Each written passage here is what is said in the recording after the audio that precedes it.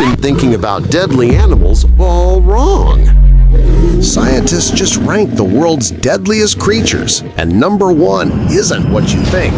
Not sharks, not lions, not even snakes. It's the mosquito, killing 725,000 humans every year through diseases like malaria. But here's what's wild.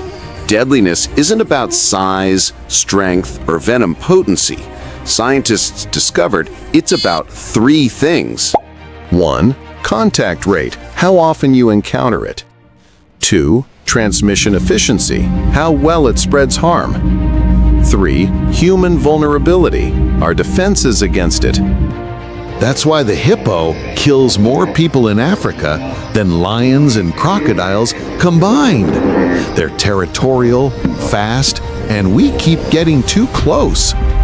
And why box jellyfish are more lethal than great whites, nearly invisible, found in shallow waters where people swim, with venom that stops your heart in minutes. So the deadliest animal isn't the scariest one. It's the one you didn't see coming. Follow for more science.